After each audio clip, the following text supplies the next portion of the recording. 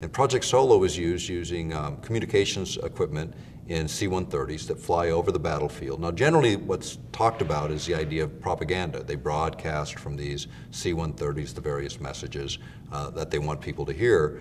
But one of the other things they do is they piggyback signals on other carriers. In other words, the broadcast already going on in the area. In other words, the Muslim music and prayers that all of these troops were listening to every day, um, they would piggyback a signal on that that would create uh, anxiety and fear as an emotional state.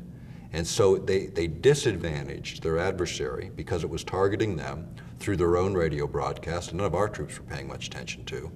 But they had this tremendous unexplainable anxiety and fear, and then when the bombardment started, or even when anything happened, uh, they were much more willing to give up. Um, according to Scottish media, that was probably the most effective uh, weapon used and, in, how fast that war uh, collapsed. People who study psychology and study advertising as well understand that there are certain things, and one of them in particular is the frequency following response, where the brain will lock on to a flickering uh, light, for instance. Well, if you embed that within something as simple as an advertisement on television, so you, you have somebody sitting in a fairly passive position, they're probably running in a low beta, or even, even lower, even into the alpha ranges, where they're very, very um, already geared for accepting suggestion. But then you create a flicker rate, even for as few as 30, 40 seconds, uh, that entrains the brain and drops it even lower until you're in a very suggestive state, and then just deliver the overt message. There's nothing that is regulated in that regard. And yet the science is well known, but the regulations don't exist. But these are very sophisticated uh, folks, particularly in political um, races. We are dealing with people spending billions these days on presidential races, um, incorporating this kind of technology that is not illegal and is not regulated uh, should be expected uh, through media. Is once you once you regulate, then you also disclose. You disclose the carriers, you disclose the methods and the means. And one of the things the Morrises suggested uh, on, a, on, a, program that ran in Canada on CBC, and the Morrises were part of the group that introduced this whole concept of, of new weapon systems during the first uh, Reagan-Bush administration.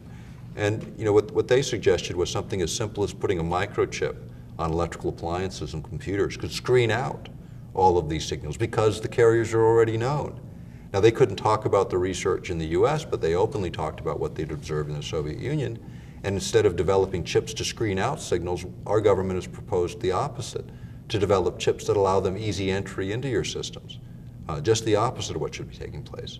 Uh, we're not the only country involved in this. You know, the, the, this whole realm has developed, uh, I think, another race, a race that began perhaps much further back in history than many would care to admit. But when you look at the influence of human behavior uh, through um, external means, there is plenty of evidence today that exists in the record uh, that we point to uh, very carefully in the work that we've done to show that these are things that are not impossible and that they've been around for now several decades. It's, it's, it is the way it is. I mean, when you, when you look at propaganda as a concept, uh, we use it, everybody uses it, it's your message. Um, and you know, now it's focus groups and polls and spin and figuring out how to uh, compartmentalize and prepare a message. Even the military spends a good deal of time looking at it. The thing that they're most concerned about is what's called the CNN factor. Uh, and that's the idea that when you see it, the American public rela relates and reacts to visual images very strongly and very rapidly. And so you control that flow.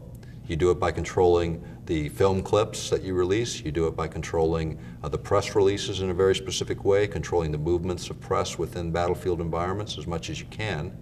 Um, and you embed them, and the deal is you do it our way or you don't get, you don't get to come back.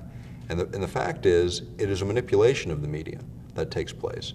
And it's a staging of how to gain uh, the public's acceptance for issues. In fact, one of the most outstanding documents in this area when you deal with changes in military technologies is one produced by the U.S. Army War College called The Revolution of Military, Military Affairs and Conflicts Short of War. And within that document, they talk about things like implantable technologies uh, for tracking uh, troop movements. They talk about knocking out aircraft with devices that work on electromagnetic fields that override their controls, cause them to crash, but leave no residual damage. And then they talk about the constitutional questions. And what they say when they get into the constitutional questions is This would probably violate the Constitution if we use this against, say, international drug traffickers or terrorists.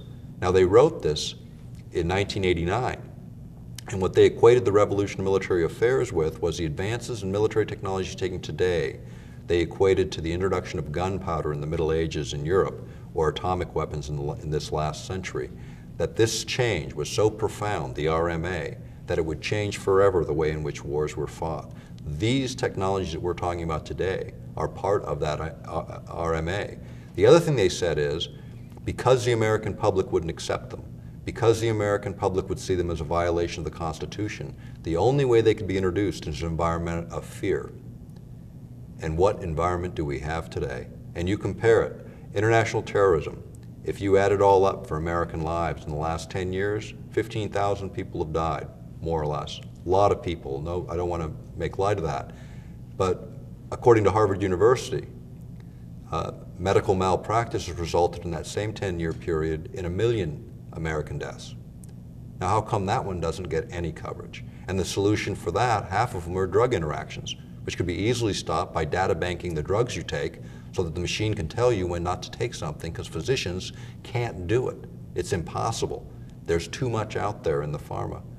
And yet, what issue do we focus on? The one that is going to usher in the revolution of military affairs and generate a high enough fear level for people to set their civil liberties aside in exchange for the illusion of safety and security.